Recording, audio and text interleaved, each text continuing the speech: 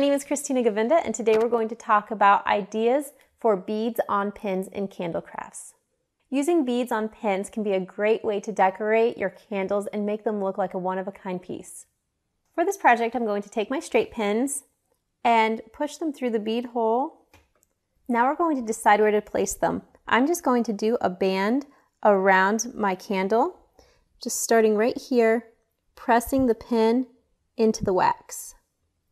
How far you space them out is your decision. You can either put them a small distance away from each other or right next to each other.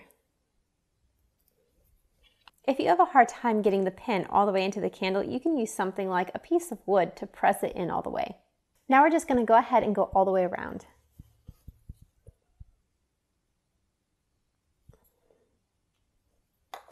You don't have to use all the same beads. You can alternate, you can make a pattern, or you can just use an assorted variety of beads.